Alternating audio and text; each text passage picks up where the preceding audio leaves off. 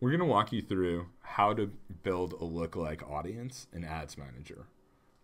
So in Ads Manager, you want to click the checkbox next to whichever audience you want to make into a lookalike.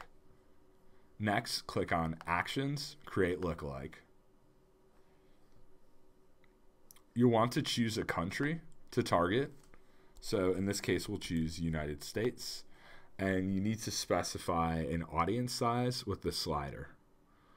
We'll make the audience be around 10 million people, which is about 5% of the country.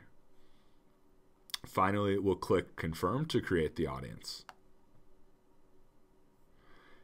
You can see here that the audience has been created. Uh, the status is not ready, but that will update shortly as the audience starts populating.